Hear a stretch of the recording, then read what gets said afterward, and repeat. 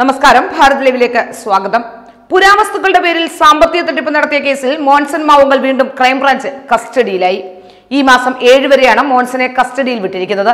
മോൻസന്റെ സാമ്പത്തിക ഇടപാടുകൾ ദുരൂഹമെന്ന് പ്രോസിക്യൂഷൻ കോടതിയിൽ വാദിച്ചു. സ്വന്തം അക്കൗണ്ട് വഴിയല്ല മോൻസൻ ഇടപാടുകൾ നടത്തിയത്. ആര് വഴിയാണ് ഇടപാടുകൾ നടത്തിയതെന്ന് കണ്ടെത്തേണ്ടതുണ്ട്.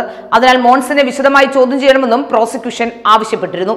ഇതിന്റെ അടിസ്ഥാനത്തിലാണ് കസ്റ്റഡി കാലാവധി നീട്ടിയിട്ടുള്ളത്. അതേസമയം കസ്റ്റഡി അപേക്ഷ എതിർത്ത് പ്രതിഭാഗം അഭിഭാഷകനും രംഗത്തെത്തിയിരുന്നു. ഏത് അക്കൗണ്ട് വഴിയാണ് ഇടപാടെന്ന് മോൻസിന് പണം നൽകിയവർക്ക് അറിയാമെന്നാണ് പ്രതിഭാഗം വാദിച്ചത്. ഇടപാട് കണ്ടെത്താൻ ബാങ്ക് രേഖകൾ പരിശോധിച്ചാൽ മതി. അതിന് കസ്റ്റഡി ആവശ്യമില്ലെന്നും പ്രതിഭാഗം വാദിച്ചു.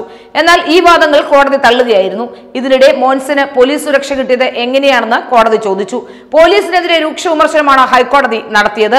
മോൻസൺ പറയുന്നത് ആരും വിശ്വസിച്ചു പോകുമെന്നും എല്ലാ റാങ്കിലും ഉൾപ്പെട്ട ഉദ്യോഗസ്ഥരും മോൻസന്റെ കെണിയിൽ ഉൾപ്പെട്ടിട്ടുണ്ടെന്നും കോടതി നിരീക്ഷിക്കുന്നു.